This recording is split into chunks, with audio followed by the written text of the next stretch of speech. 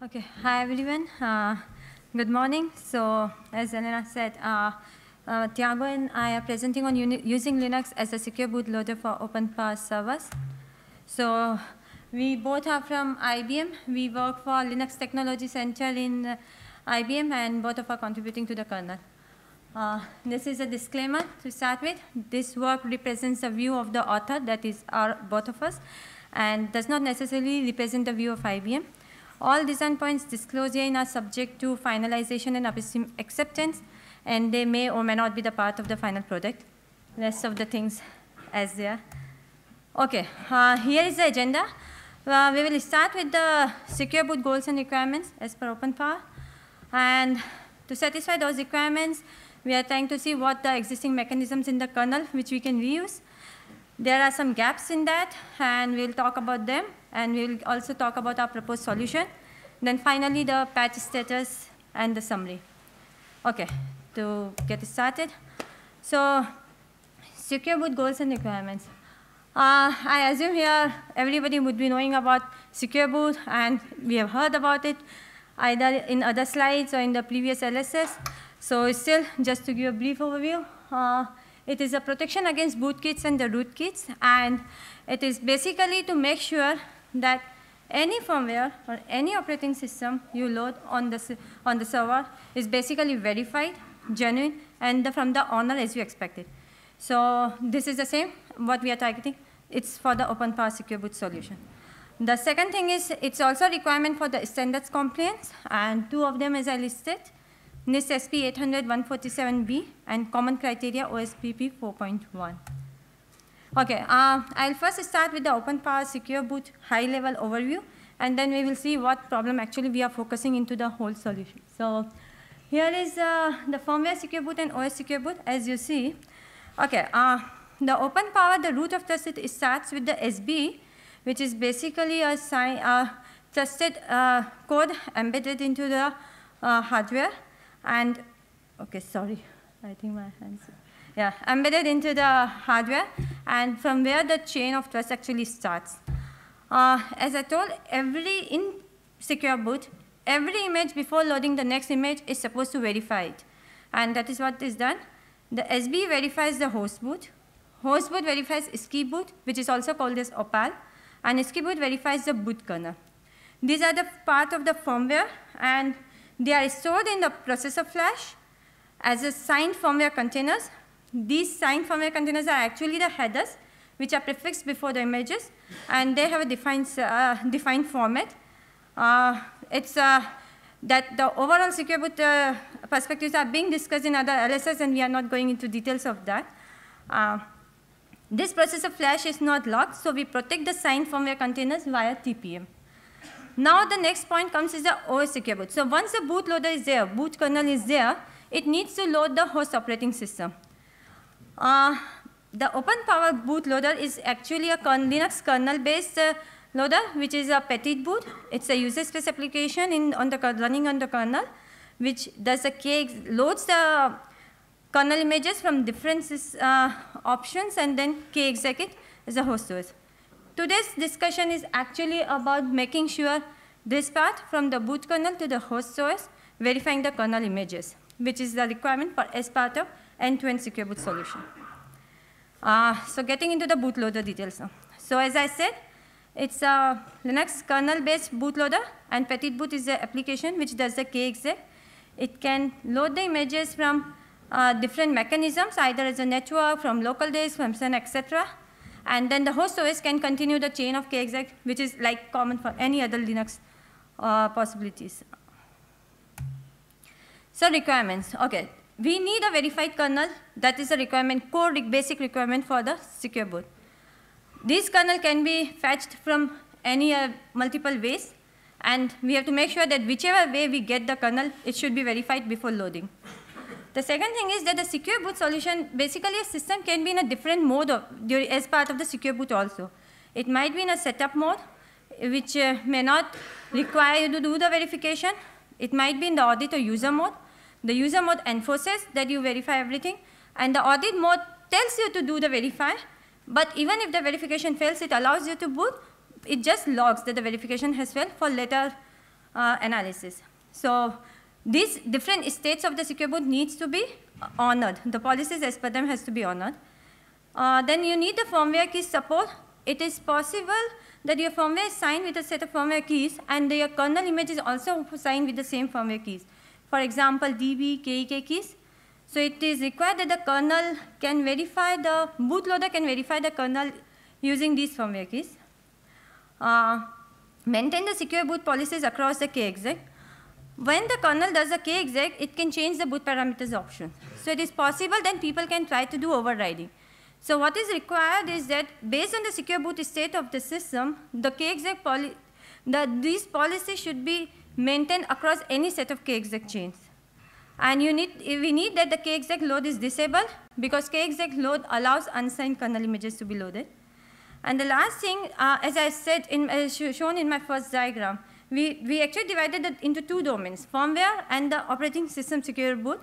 Because the OS secure boot kernel images can come from various op uh, uh, options, but firmware is from the platform owner. So it is possible that sometimes you distros might want to load unsigned kernels uh, for backward compatibility, but then you don't want to disable the whole secure boot solution. So your firmware secure boot is still enabled, but you allow unsigned kernels to be loaded. So that is the last point. Okay. So the thing is, we need this for our last stage of loading the host OS. And we have the kernel-based bootloader. So the point is, can we use something which already exists in the kernel? And from yesterday's, today's, and all of earlier discussions, people know about integrity measurement architecture somewhere. So we consider this as a possible solution. Thiago will discuss about that. Okay, hello. Um, so IMA, as we have seen here today and, and in other uh, presentations and conferences, IMA is a mature uh, subsystem in the kernel being used in production. So uh, we turned to it to implement secure boot. It can be uh, used to enforce the secure boot rules that we want. Um, so how, how does it work to have a secure boot implemented using IMA.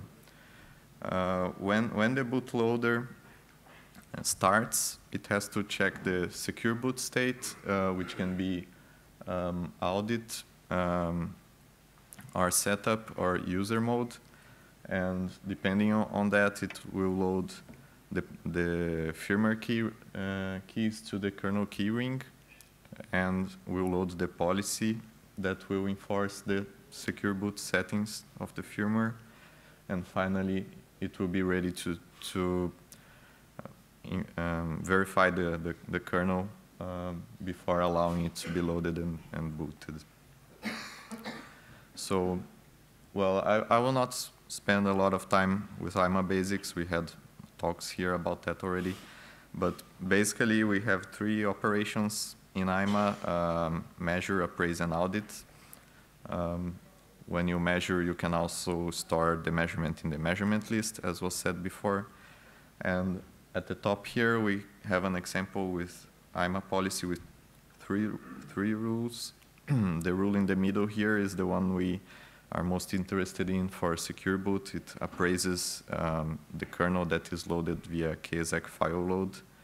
And the argument here, appraise type equals IMASIG, is telling uh, IMA to verify a signature stored in, in, uh, in the file. So how do you do that? Um, you have to use the evmctl command, which will add a security.ima extended attribute. That extended attribute contains a signature in a very simple format, as can be seen here. Um, and with that, uh, IMA is able to, to retrieve that signature and, and, and verify if, it, if the kernel is correctly signed.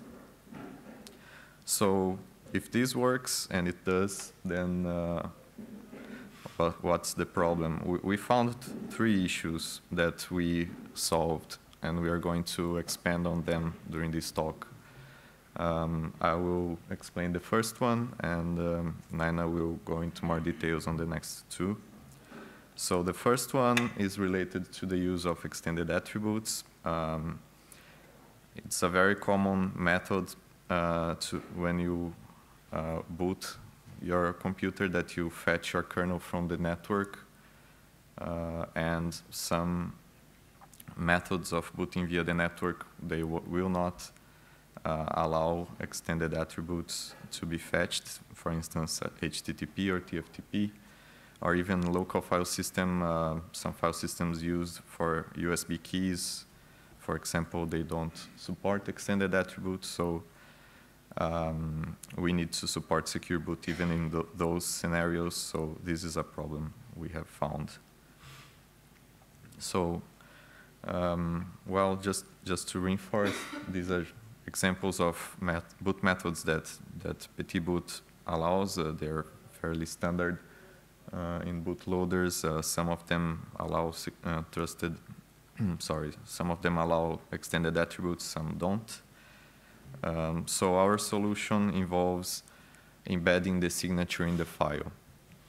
Um, we, the kernel has a method for that already for module signatures. Uh, there's a kernel feature where you can um, uh, require that modules are signed and, and, only signed modules can be loaded. And the format of the signature is very simple.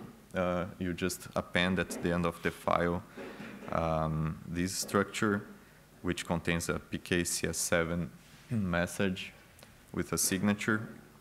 Um, this suits us because the, the, the, PowerPC kernel is an ELF image as well. You can append contents to it and it will still be usable. So that's what we decided to, to use. There, there's a tool already in the kernel, uh, scripts slash sign file that performs this step. So that's what we use.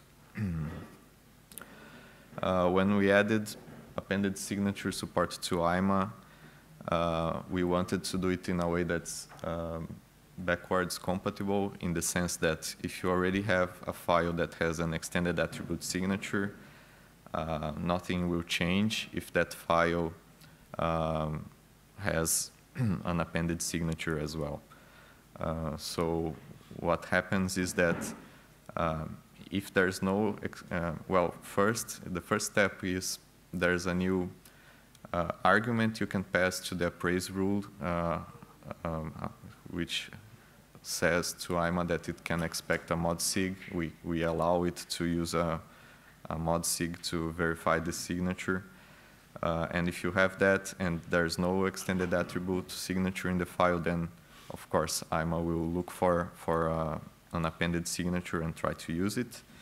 Uh, and the other case is if there is an extended attribute signature, but the signature is uh, signed with a key that the kernel doesn't know about. It's not present in, in the kernel key ring. So in that case, it will ignore the extended attribute signature and also look for um, an appended signature in the file and, and, try to use it to verify it. Um, so uh, even though secure boot is not about measurements, um, there is an interaction with measurements that we found that we, we had to, to uh, address. So I, I'm coming back to, to this measure step and storing it in the measurement list. Um, just an aside, the rule in the middle has a, the, the setting that I mentioned that you can add you, in the appraise rule, you can say appraise type equals IMA sig or mod sig. Then you are telling IMA that it can use a mod sig if there is one. Um, so uh, before I, I, talk about our issue, um, how does IMA know what to put in the measurement list? It has a concept of an IMA template. The IMA template uh, tells it which, which information should be added to an entry in the measurement list. You can use uh, template fields for, for saying that you want to store the digest, the name of the file, and if there's a signature, a signature as well. So there are some predefined IMA templates for, for instance, the IMA-sig here, which includes the, the signature. And in that case, you have a measurement entry like this one, um, the, fir the well, uh, just to explain a little bit this entry, uh, the first number here in yellow is, is the PCR the TPM PCR that is extended with this measurement, uh, then follows the, the contents of the PCR at the time of this measurement. And then you have the template that IMA is configured to use, in this case, IMASIG, um, which, um, uh, as, saw, as, as shown on the, this slide, it tells that IMA should store the digest, the name, and the signature of the file. So that's what follows here in blue. The, this is the SHA-256 digest of the entire contents of the file that was appraised, uh, the path of the file, and then at the end, uh, the contents of the security.ima extended attribute uh, containing the digital signature. So one, one property of these that is very useful is you can, just with this entry, um, doing audit, for instance, uh, know whether the signature uh, is valid or not for this file. Um, the um, digest of the file is, is the digest that is used in the signature to validate the content. So with, with this digest and this signature, you can say whether the, the signature was valid or not when, when the file was appraised. Uh, the problem we found is that when you append a signature at the end of the file, you modify the file contents, obviously, and with that, the digest uh, of the file as measured by IMA is not the same one that was used to sign the file anymore, and you can't, um, at a later point, verify whether the signature was valid or not. So we solved, solved this by introducing a new template field called d-sig, um, which uh, tells IMA to store uh, not only the, sorry, uh, it tells IMA to store the contents, the, the hash of the contents of the file, but ignoring the appended signature at the end.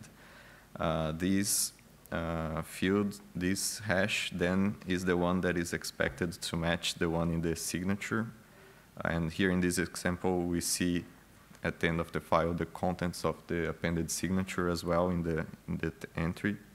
And with that information, we can once again verify that the signature is valid or not when the file was, was appraised.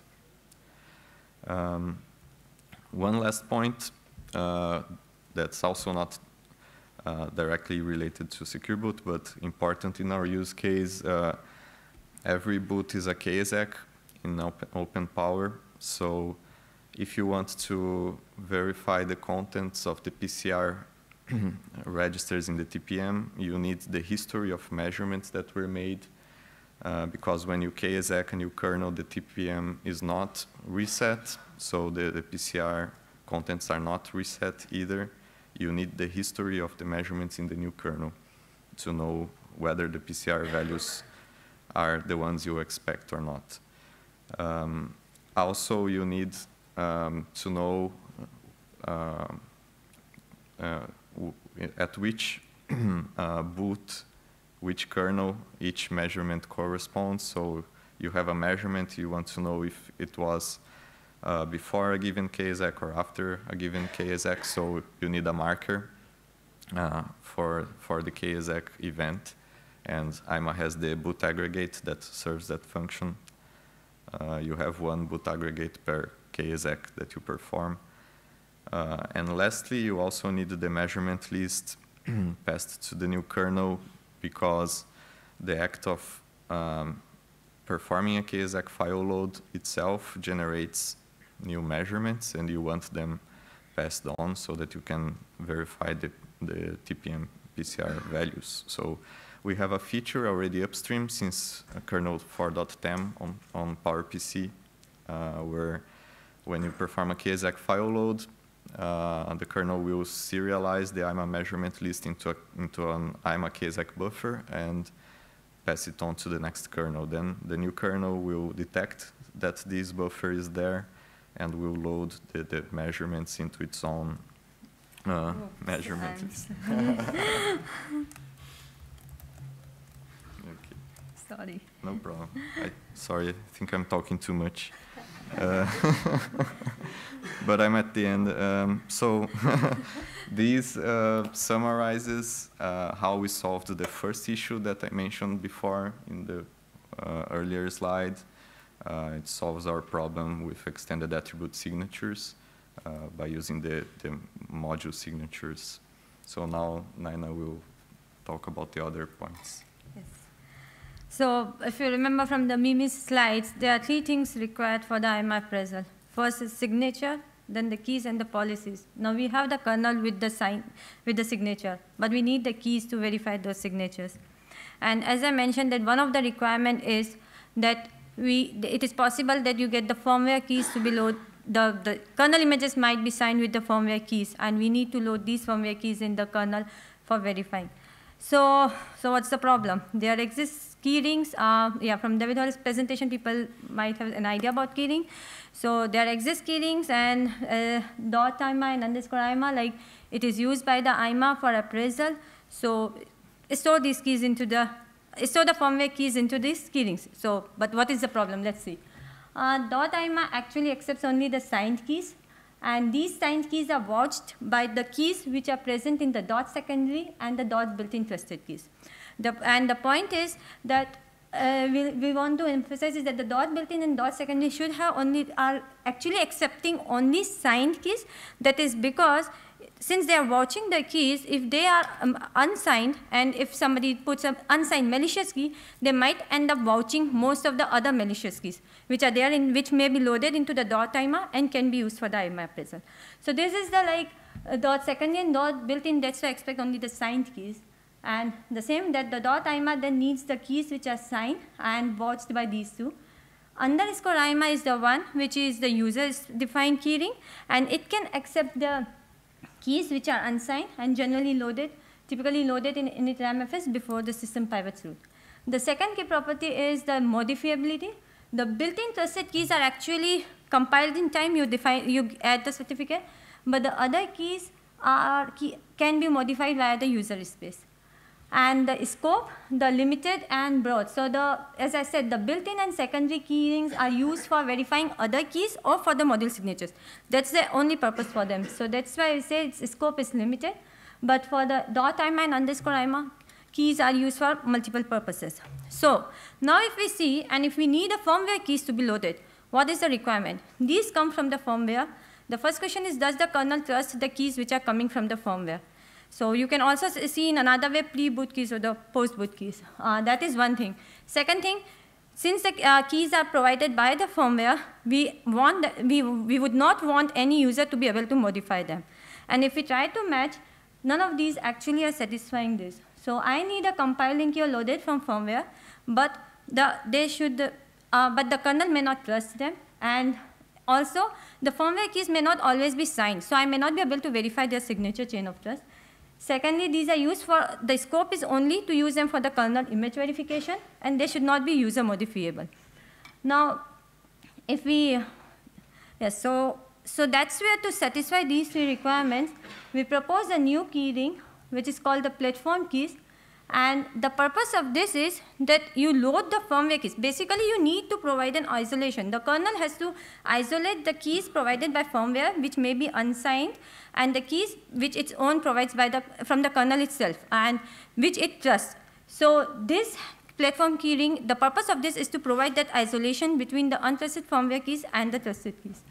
Uh, it can be loaded either the compiled in time as a single certificate or loaded from the boot time uh, these accepts unsigned keys, so they need not be uh, satisfy any chain of trust. And then the node modifiable, they should not be overridden by user space. So basically, these keys, once loaded at the boot time, uh, nobody can change them. Uh, you can, uh, we can enable this by config option, config platform keyring, and config platform trusted keys. So here is how it looks like, dot platform keys. It has the same permission as the dot built-in, because it doesn't, it need not be modifiable by user. And yes, that, that, that's what the thing is. So this actually provides a, it allows us to use the firmware keys, which comes from the pre-boot time, may or may not be signed, to be used by the bootloader for the kernel image verification and only for the limited purpose of the kernel image and are not modifiable by user. And that's how we solve this problem. The second thing, so again, uh, the third thing which is required for the appraisal is the policy. IMA will do the appraisal only if there is a policy defined for it. And we need KExec kernel check is the existing policy uh, rule which can be used for the kernel image verification. But what's the problem? Let's discuss that. Uh, these are the default policies. Uh, these are the existing policies available now. The upper two are more of default policies for different purposes.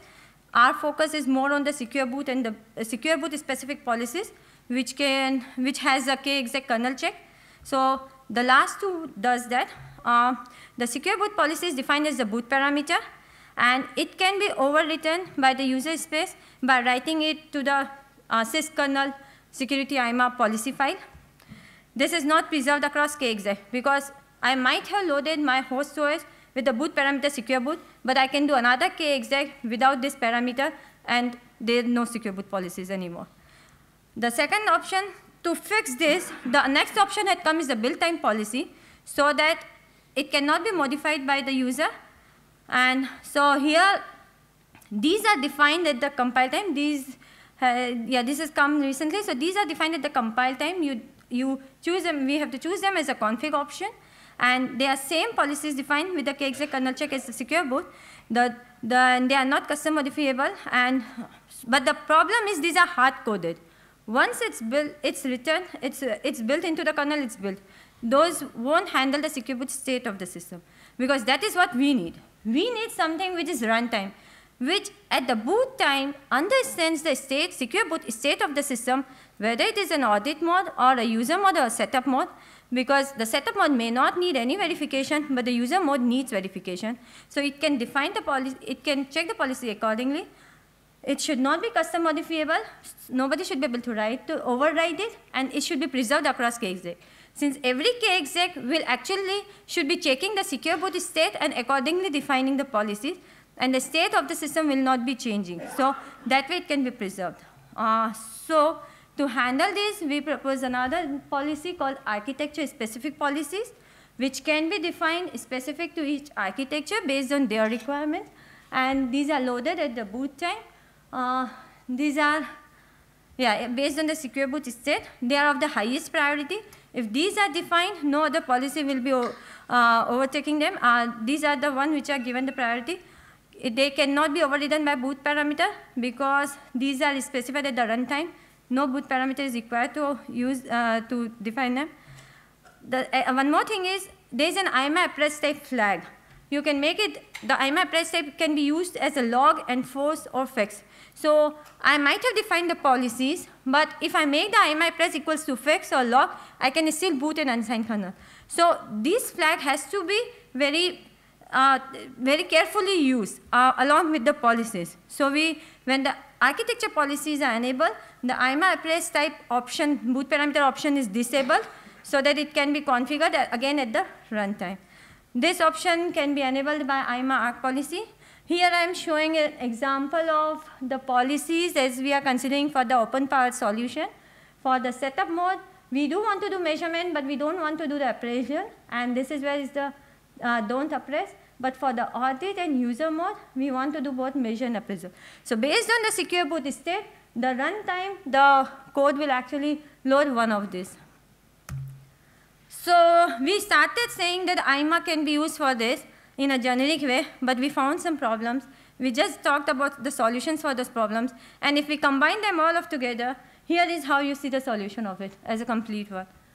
The boot kernel is loaded. Uh, it checks the secure boot mode of the system. If it is in the setup mode, you don't, we don't need any kernel verification. Uh, so no keys are loaded onto the platform keyring, no policies are set. But if we get into the audit or user mode, we need the keys, so we load them. We need the keys from the, uh, from the platform, so we load them to the platform keyring. And now these keys are locked, nobody can modify them later, and these are isolated from other keys of which the kernel uses. These are specifically available only in dot platform keys. Uh, audit, if it is in the audit mode, the policies for audit and the user mode are the same. The only difference is the IMA appraise flag is log for the audit mode. But in case of the user mode, IMA appraise flag is enforce. Because here we want to make sure that uh, if, it, if it fails to verify the kernel, it just doesn't boot. And then we have the keys, we, we have the certificates, we have the policy, and the Petitboot fetches the kernel image, uh, it verifies the appended signature. We have the appended signature on it. So it verifies the appended signature, and if it is verified, then host OS is loaded. So this is how the all three problems, solutions for those three problems combined together gives us a complete solution. Uh, here is the patch set status. So we talked about three features, appended signatures, platform keyring, and architecture-specific IMA policies. Uh, the two patch sets, IMA support for appended signatures and the platform keyring are awaiting the acceptance. Uh, they, are post, they were posted and are available on these reference links. Uh, for the IMA support for architecture-specific policies, we are soliciting acks and reviews for the x86 specific patches, which we have in that. Uh, then the carry IMA measurements file across K kexec is already upstream, as Thiago mentioned. Then the loading keys into the platform keyring, uh, these are based on David Howells' patches, his patch set uh, keys, blacklisting, and UEFI database load. We have used two patches in that, uh, like EFI, add EFI signature data types and add an EFI signature block parser because OpenPOWER also uses the ESL format for the keys, uh, sign for the keys. So this is a work in progress, and the power-specific ARC policies is the work in progress.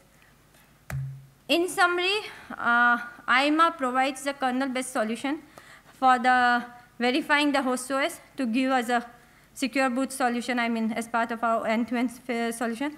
Uh, we had three problems out of it for the keyring, for the signature, and uh, for the policy. We fixed them by introducing platform keyring, arc-specific policies and appended signatures. We have the patch sets either in the state of upstreaming, uh, awaiting acceptance, or awaiting reviews or are work in progress. We welcome the community to test them, give their reviews back, give, their give your inputs and feedbacks, whatever you think about those. And this is where I have the demo for the, uh, these patches. If anybody is interested, we can, I can show that later, afterwards. Uh, these are the references. And this is acknowledgements for our team who had worked, uh, the IBM LTSA security team who is working, and we work in collaboration with the security research group and uh, uh, uh IBM Power Security and the Power Firmware team. Yes. Questions? Anyone? Could you give us some more details about kexec crash kernel and signing the its user space? Uh, so what details do you need? I mean, Actually, kexec is uh, very often used to um, launch a crash kernel, which uh, is able to export your uh, me uh, the memory of your crashed kernel and use use um, uh, proc VM core to dump its memory? Is it somehow affected? So um, there are two syscalls. One is kexec file load and kexec load. Um, and the, and there are two um, in this. Um, so basically, the kexec file load um, is doing the signature verification, and then in order to, and there are two patches in this patch set which um, disable kexec load as well. If you have the IMA policy, then, um, and you're using the, um, and you're using the IMA signature verification, then it will prevent the kexec load. Um, but if you're using the regular um, signature verification, um, kernel, the architecture-specific one, then um, if you're not in secure boot mode, it won't um, disable K, um, the kexec load. So it depends if you're in secure boot mode or you're not in secure boot mode. So actually, it is not possible to use uh, with secure boot enabled? Right, that was the compromise. More questions?